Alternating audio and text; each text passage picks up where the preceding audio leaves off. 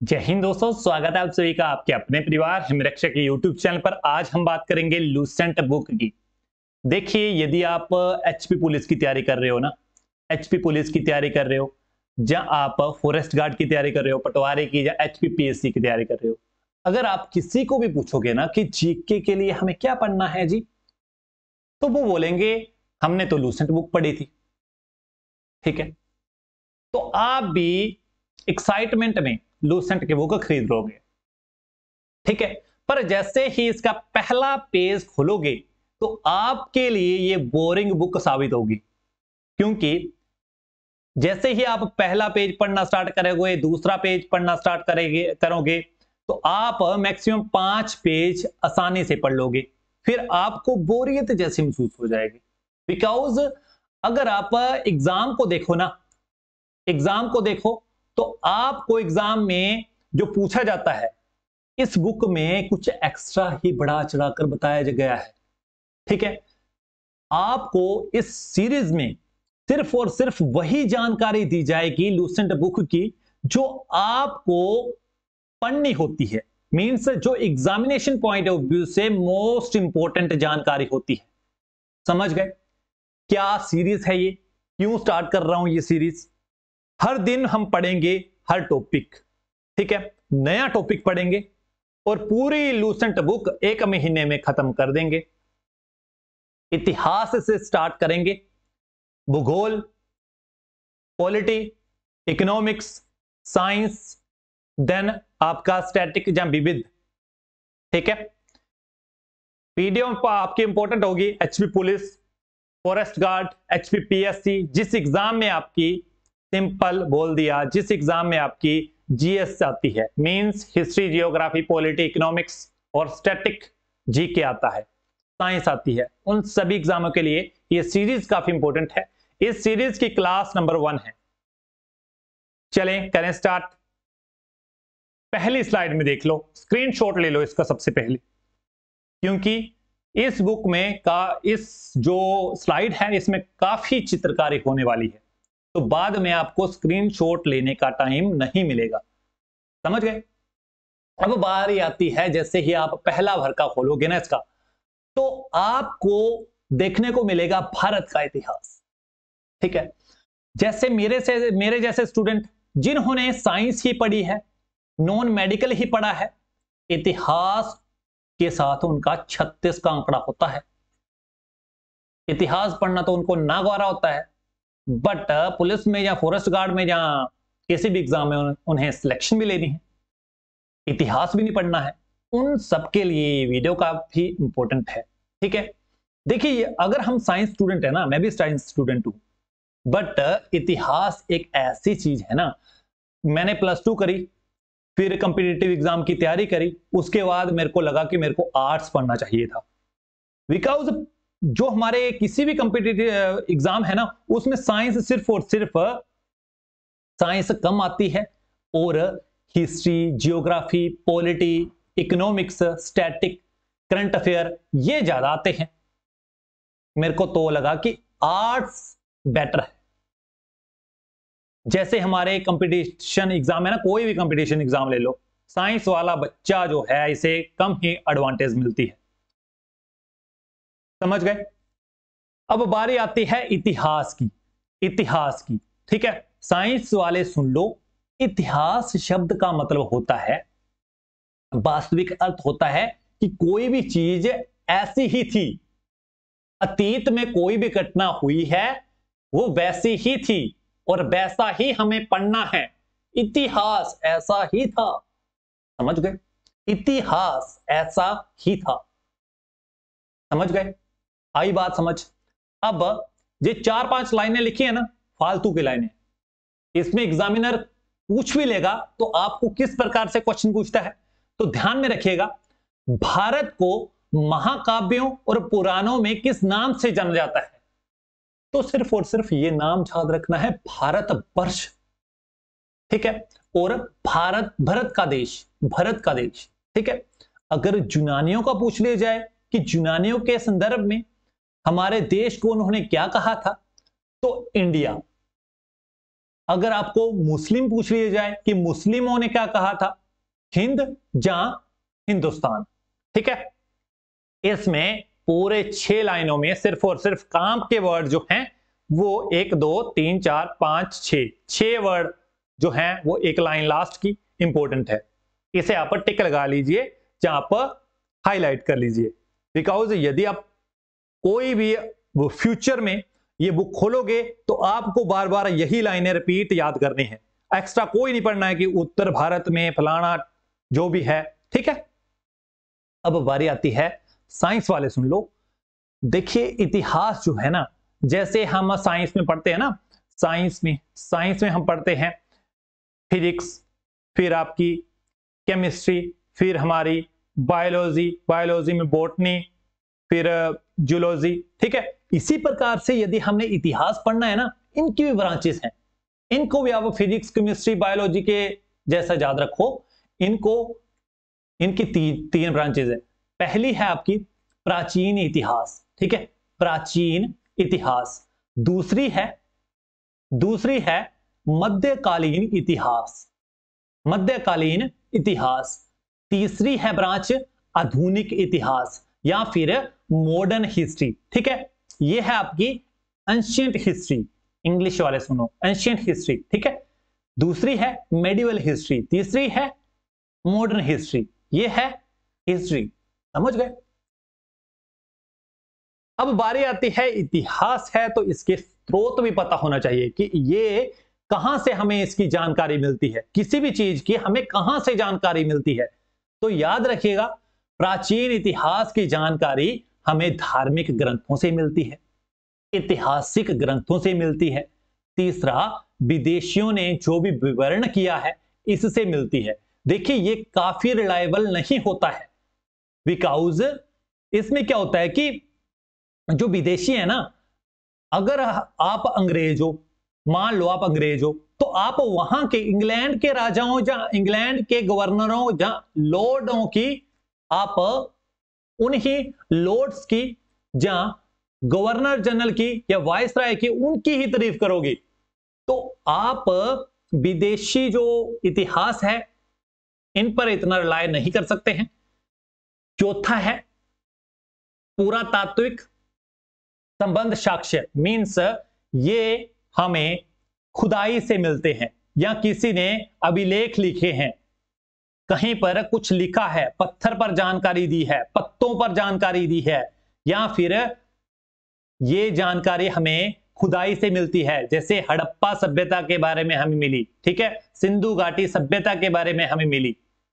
खोद खोद कर हमें पता चला कि यहाँ पर ईंटें मिल रही हैं, फिर यहाँ पर बर्तन मिल रहे हैं, यहाँ पर मोहरे मिल रही हैं, यहाँ पर पशुओं के कंकाल मिल रहे हैं, ठीक है? पंजर मिल रहे हैं, समझ गए? हुआ क्लियर अब स्टार्ट करते हैं पहले दो से। धर्म धर्म के ग्रंथ और ऐतिहासिक ग्रंथ। ठीक है? धार्मिक ग्रंथ और ऐतिहासिक ग्रंथ। पहला और दूसरा। पहला और दूसरा। पढ़ते हैं हम। देखिए, धार्मिक ग्रंथ की बात की जाए तो सबसे मेन बात आती है वेद की। सबसे मेन बात आती है वेद की। अब इस पाँच लाइनों में आपको सिर्फ़ और सिर्फ़ ये याद रखना है कि वेदों की, धार्मिक ग्रंथ वेद धार्मिक ग्रंथ वेद ठीक है? अगर आपको पूछ लिया जाए कि वेद कितने प्रकार के होते हैं? चार। कितने? चार। कौन कौन से? ऋग्वेद जजुर्वेद सामवेद, अर्थवेद। ऋग्वेद जजुर्वेद सामवेद, अर्थवेद। करो मेरे साथ साथ लर्न, बोलो मेरे साथ साथ। वीडियो देख रहे हो, जो भी वीडियो देख रहा है तो बोलो मेरे साथ साथ। कितने होते हैं टोटल? चार। कौन कौन से? ऋग्वेद। बोलो। जजुर्वेद देख देख के बोलोगे तो आसान रहेगा आपके लिए। बोलो देख देख के बोलो। आपको अभ्यास होना चाहिए। ऋग्वेद जजुर्वेद सामवेद, अर्थवेद। कितने कितने? चार होते हैं टोटल ऋग्वेद जजुर्वेद सामवेद, अर्थवेद। समझ गए? अब डिस्क्रिप्शन देखते हैं ऋग्वेद की। ऋग्वेद की डिस्क्रिप्शन देखिए, ऋग्वेद के बारे में सिर्फ़ और सिर्फ़ पहली लाइन छोड़ देनी है आपको, ये याद नहीं रखनी है। दूसरी लाइन में सिर्फ़ और सिर्फ़ ये वाले आंकड़े आपको याद रखने हैं, क्योंकि यहीं से आपका एग्जामिनर प्रश्न पूछता है कि ऋग्वेद में टोटल मंडल कितने होते हैं। तो याद रखिएगा, दस। कितने? दस। कितने? दस। ठीक है? सूतक कितने होते हैं? एक हज़ार अठाईस कितने?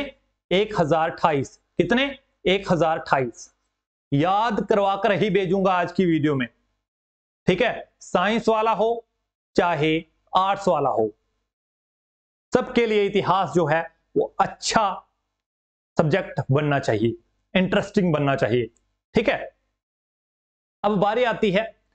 एचपी पुलिस में प्रीवियस ईयर में क्वेश्चन पूछा जाता है, पूछा गया था एचपी पुलिस में। क्वेश्चन पूछा गया था कि जो गायत्री मंत्र है वो किसको समर्पित है? तो आंसर था सवित्री को समर्पित है। किसको समर्पित है? सवित्री को समर्पित है। ठीक है? समझ गए? अब गायत्री मंत्र के बारे में किस मंडल के में जानकारी दी गई है? किस मंडल में है?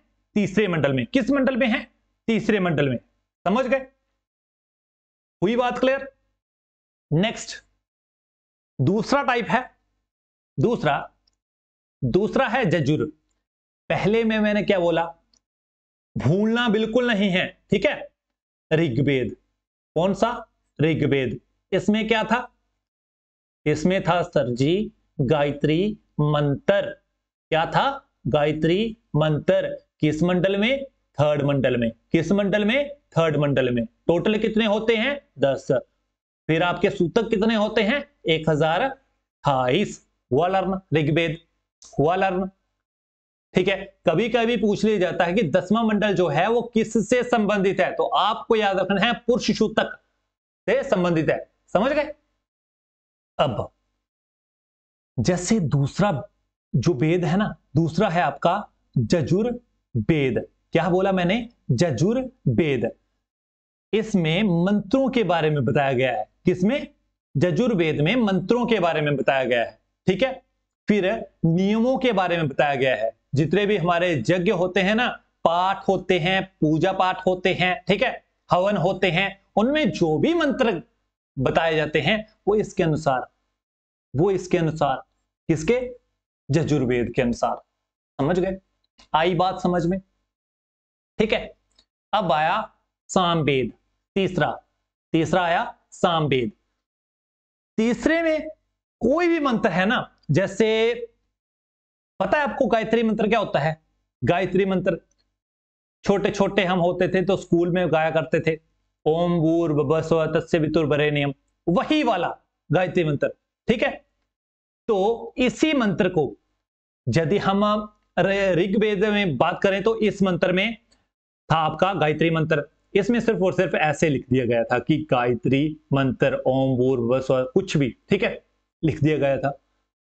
इसमें हमें पता चला, ये मंत्र जो है जजुर्वेद में हमें पता चला, ये मंत्र जो है, वो कहाँ प्रयोग होते हैं, कहाँ प्रयोग होते हैं? यज्ञों में, पूजा पाठों में, विधि विधानों के बारे में इसका संबंध है। ठीक है? अब तीसरे मन, तीसरे वेद में हमें क्या पता चल रहा है? तीसरे वेद में हमें क्या पता चल रहा है? कि जो गायत्री मंत्र है, इसे हम गा भी सकते हैं।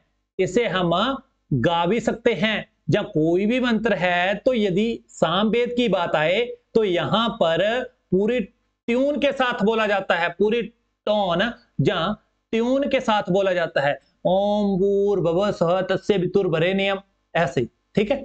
समझ गए? आई बात समझ में? आई बात, ठीक है? अब लास्ट है हमारा अर्थभेद। क्या है? अर्थभेद। इसमें अर्थ ढूँढने लग पड़ते हैं कि इसका कोई भी मंत्र है, इसका पता होना चाहिए किसके बारे में है, ठीक है? किसके संबंध में है, महत्व की बात की जाती है इसमें, ठीक है? समझ गए? नेक्स्ट इसमें एक और लाइन लास्ट वाली याद रखनी है कि ये जो हमारा अर्थवेद है, ये अंधविश्वासियों का इसमें विवरण मिलता है। अंधविश्वासों का विवरण मिलता है। समझ गए? नेक्स्ट बात आती है। क्वेश्चन आपको बार बार पूछा जाता है। इतना जो भी इस, देखिए, जो भी इस वीडियो में आपको स्क्रीनशॉट्स के थ्रू समझा रहा हूँ ना, वही आपको पढ़ना है और जो मैंने छोड़ रखा है, वो आपको एक बार ऐसे ही देख लेना है। ठीक है? ना के बराबर है वो। आप नहीं भी देखोगे यदि आपको जो टिक लगा रहा हूँ आपको वही वाले इफ़ेक्ट आप याद रखोगे तो तो भी आपका 100 परसेंट आपका काम चल पड़ेगा 100 परसेंट। समझ गए? अब इतना बड़ा पैरा है, इतना बड़ा इतना बड़ा पैरा है, कौन याद रखे? हमें तो रहता नहीं याद, ठीक है? इसमें सिर्फ़ और सिर्फ़ आपने सिंपल सा ये वाली लाइन याद रखनी है, ठीक है? ये वाली लाइन याद रखनी है। साइंस वालों के लिए इतना बड़ा है, ठीक है? कि हमारा सबसे पुराना वेद कौन सा है? कौन सा है? हमने वेद कितने होते हैं? बताओ। चार। कौन कौन से? ऋग्वेद, यजुर्वेद, सामवेद, अर्थवेद। ठीक है? सबसे पुराना या सबसे प्राचीन? ऋग्वेद। और सबसे नया रिसेंटली जो बना है, अर्थवेद। आई बात समझ में? अगर आपको पेपर में पुराणों की संख्या पूछ ली जाए कि पुराण कितने होते हैं टोटल कितने होते हैं? कितने होते हैं? अठारह। कितने होते हैं? अठारह। ठीक है? समझ गए? अब पुराणों में सबसे पुराना, पुराणों में सबसे पुराना, मत्स्य पुराण। क्या बोला मैंने? मत्स्य पुराण। क्या बोला? मत्स्य पुराण। समझ गए? पुराणों की संख्या अठारह। पुराणों की संख्या अठारह। सबसे पुराना, मत्स्य पुराण यदि वेदों की बात की जाए, कितने हैं टोटल चार। सबसे पुराना, ऋग्वेद। सबसे नया, अर्थवेद। या बाद में बना। ठीक है? समझ गए? अब नेक्स्ट है, अच्छे से याद रखो। काफ़ी इंपॉर्टेंट है नेक्स्ट भी। नेक्स्ट है, जैसे हम हिंदू धर्म की बात करते हैं ना, हिंदू धर्म की। हम मानते हैं हमारा धार्मिक ग्रंथ है भागवत गीता। क्या है? भागवत गीता। ठीक है? समझ गए? अगर हम इसी प्रकार से आपने पढ़ा होगा बुद्ध धर्म, पढ़ा है? नहीं पढ़ा है तो आपको कल या परसों करवा दूँगा वो भी बुद्ध धर्म। ठीक है? फिर आपने पढ़ा होगा जैन धर्म। फिर आपने पढ़ा होगा जैन धर्म। ठीक है? जैसे हमारा भागवत गीता है ना, धर्म ग्रंथ ठीक है?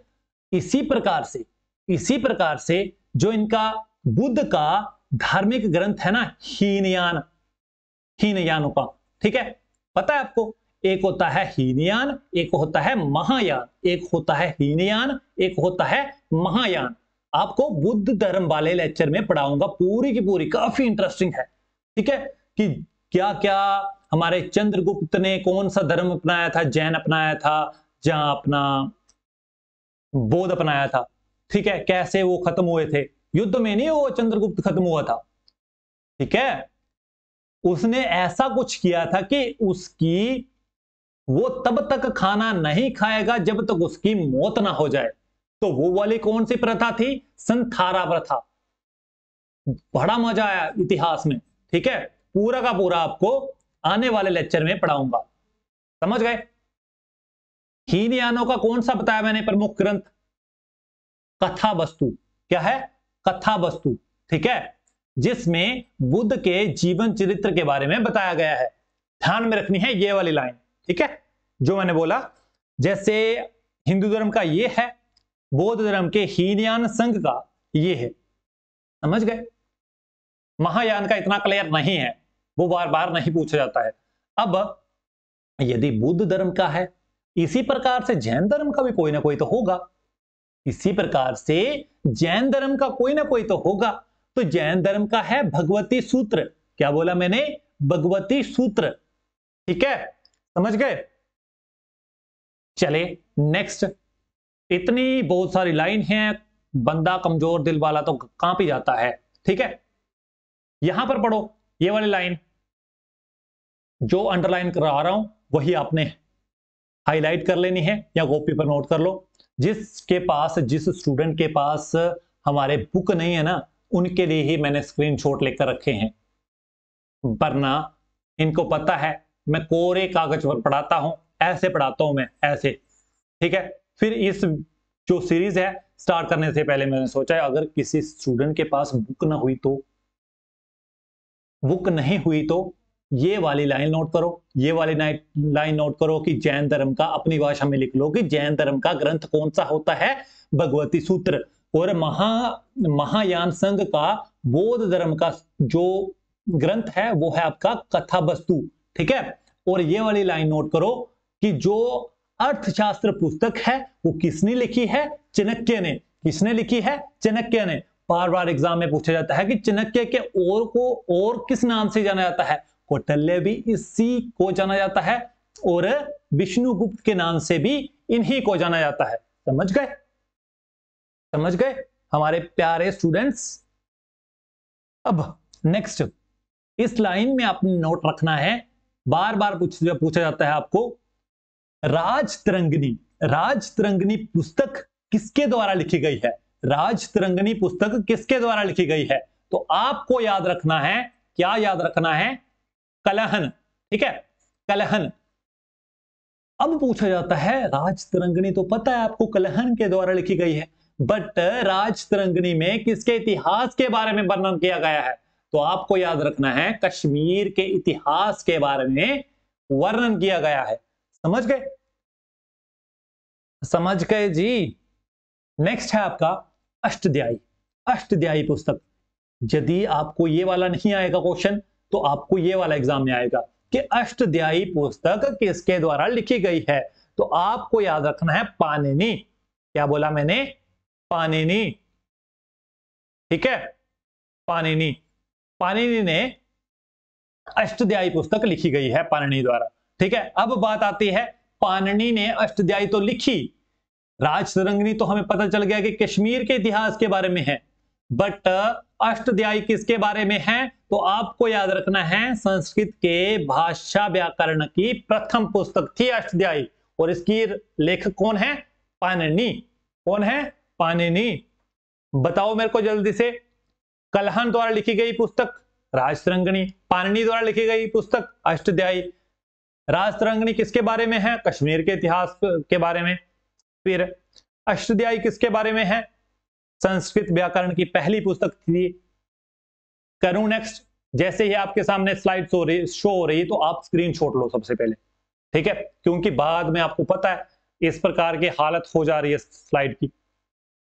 चलो, हमने दो तो पढ़ लिए। कौन कौन से? धर्म ग्रंथ।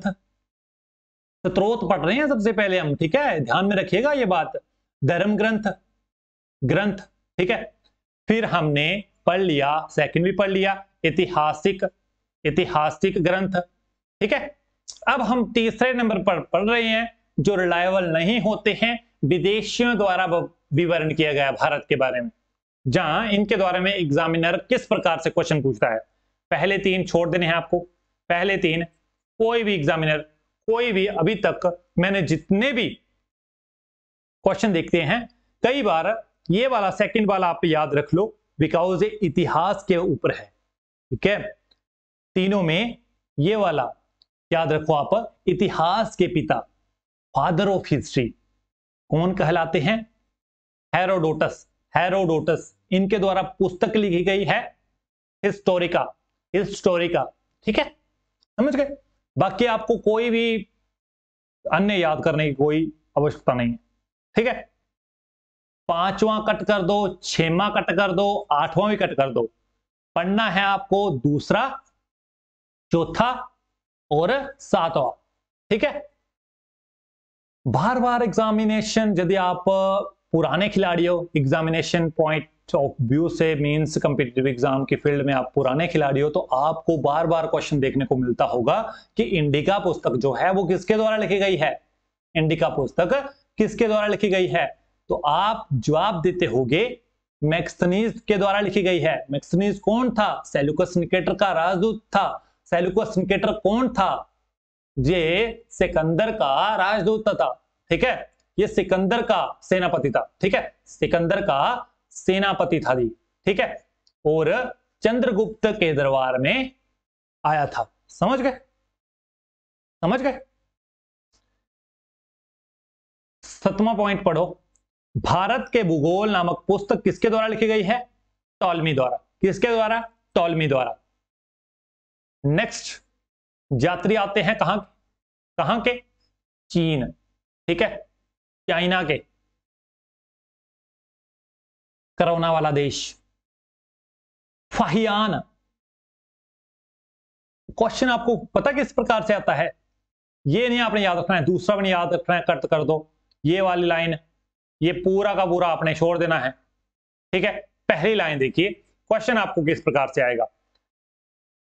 बंदे का नाम है फाहियान। क्या है? फाहियान। क्वेश्चन आपको इस प्रकार से आएगा कि चंद्रगुप्त द्वितीय के दरबार में कौन सा चीनी चीनी लेखक था? ठीक है? आया था।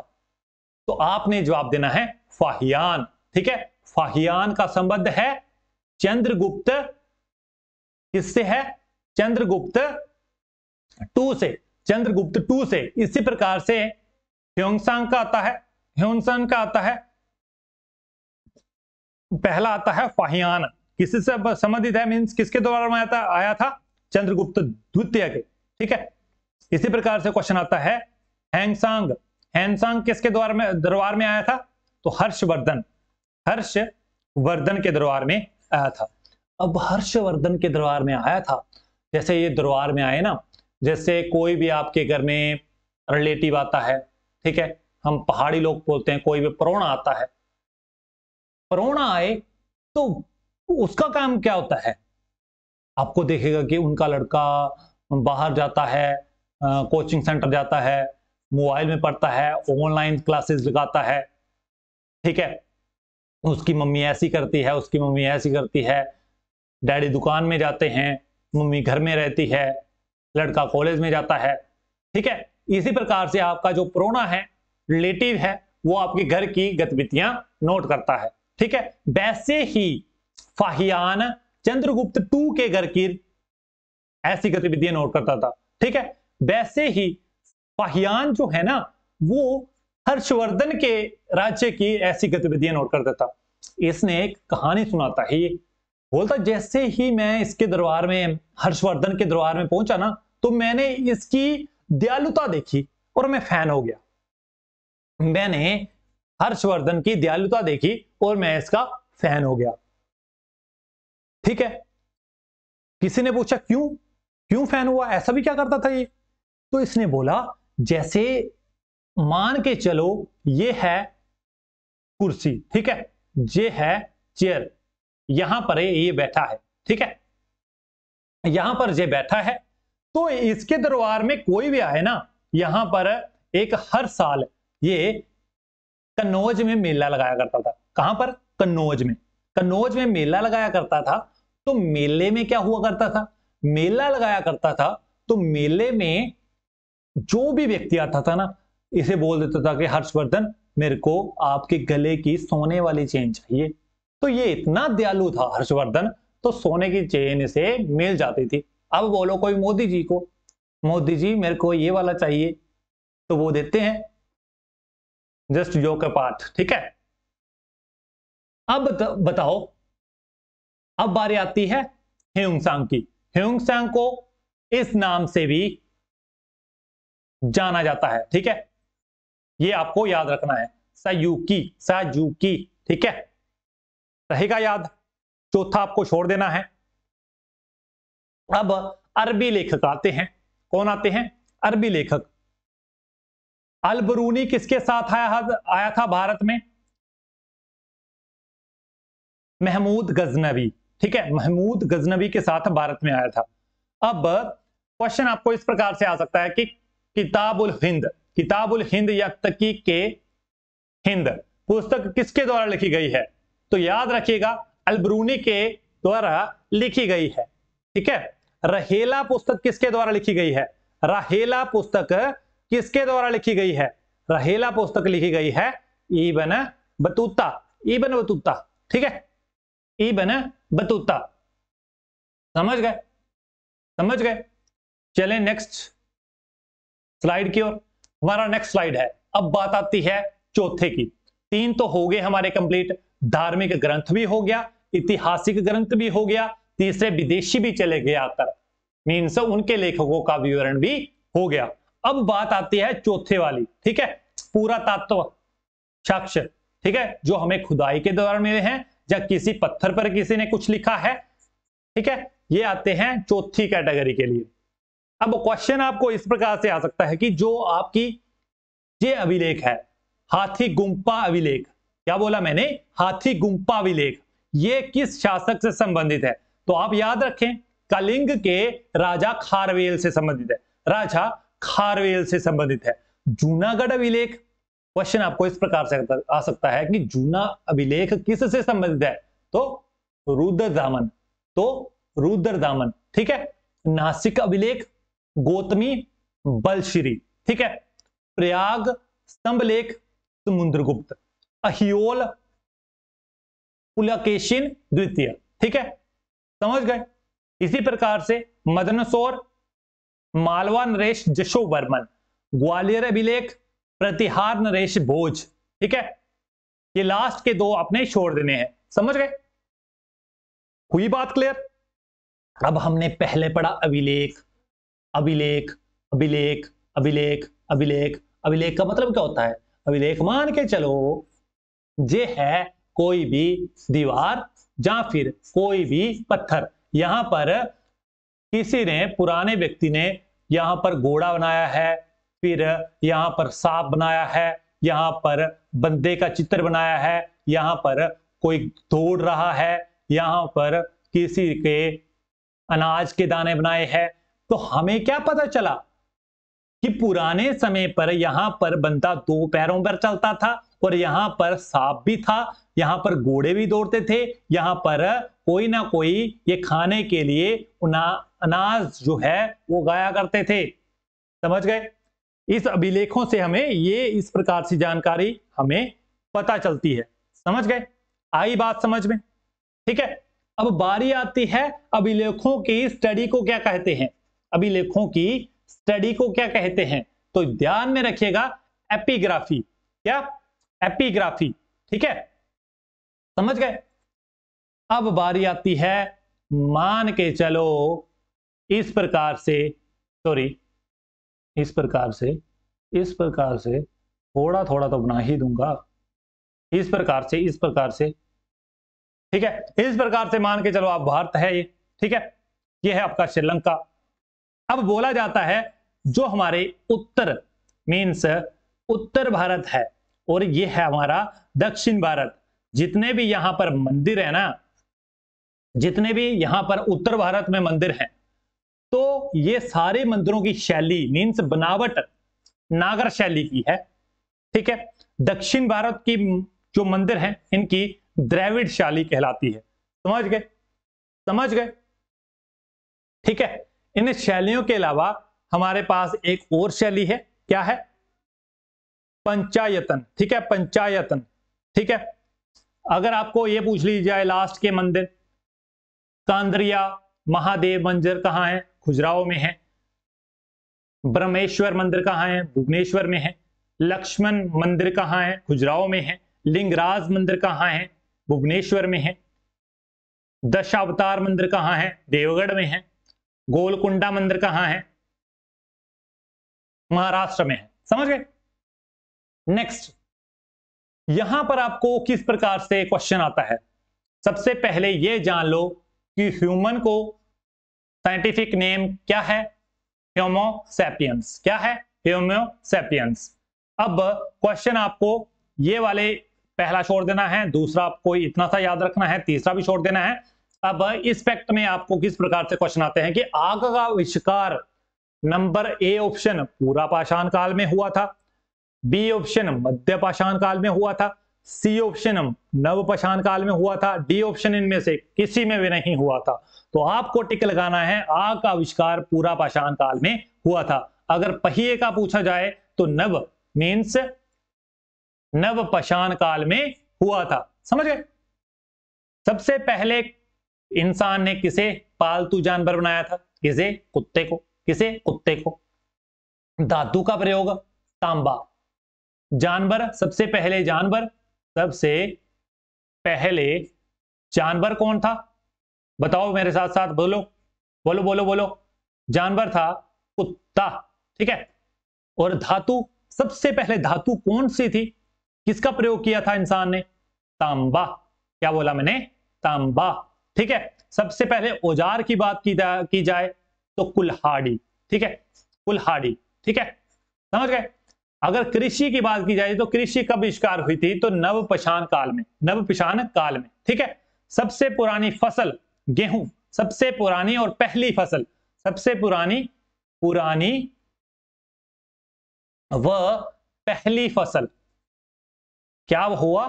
गेहूँ, ठीक है? गेहूँ, समझ गए? आई बात समझ में?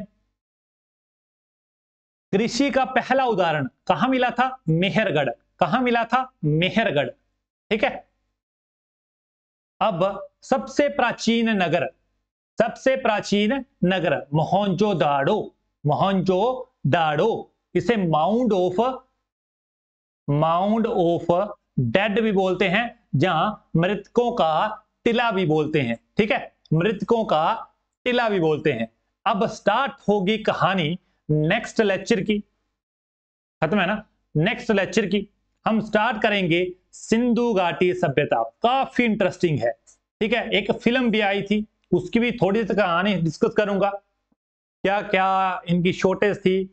इंटरेस्टिंग है मोहनजोदड़ो इसमें हम पढ़ेंगे बार बार सुना होगा आपने, हड़प्पा। हड़प्पा क्या है? फिर मोहनजोदड़ो क्या है? फिर लोथल क्या है? फिर ये वाले सारे नगर। दयानंद सरस्वत, दयानंद सानी कौन है? ठीक है बनर्जी कौन है? आर डी मार्शल कौन है? ठीक है? ये हमारा आएगा part number two we ready इस वीडियो को प्यार दोगे तो ही आपको इंटरेस्टिंग इसी प्रकार से नॉलेज इसी प्रकार से वीडियो आपको प्रोवाइड करवाते जाएँगे। क्योंकि इस प्रकार से भी जो स्क्रीनशॉट हैं या कोई भी स्लाइड्स हैं, हमारी टीम की मेहनत लगती है। और मेहनत हमें चुभती नहीं है यदि आपकी वीडियो में रिस्पॉन्स है। ठीक है? अच्छा रिस्पॉन्स है। तो इस वीडियो में बस इतना ही। यूट्यूब के अलावा बार बार बोलते हैं हम, हमारा, हम व्हाट्सएप पर भी हैं। इस प्रकार से आपको क्यूज रोज के रोज पोस्ट किए जाते हैं। ठीक है? देन इंस्टाग्राम पर हमारी ये वाली आईडी है। यदि आप लिंक के थ्रू इन तीनों का लिंक हमारे डिस्क्रिप्शन बॉक्स में है। यदि लिंक के थ्रू ना पहुँच पाओ आपको सिंपल सा इंस्टाग्राम पर ये वाली आईडी सर्च कर लेनी है। पहुँच जाओ तो आपको यहाँ पर तीनों के तीनों लिंक मिल सकते हैं और वीडियो के डिस्क्रिप्शन बॉक्स में तीनों का लिंक है। इस प्रकार से टेलीग्राम पर इस प्रकार की पोस्ट दी जाती है। ये वाली आईडी सर्च कर लो, ये वाला लोगो लगा होगा, यहाँ पर ये वाला लगा होगा। तो इस वीडियो में बस इतना ही, मिलते हैं नेक्स्ट वीडियो में, तब तक आप खुश रहिएगा। पढ़ते रहेगा धन्यवाद। जय हिंद। जय हिमाचल।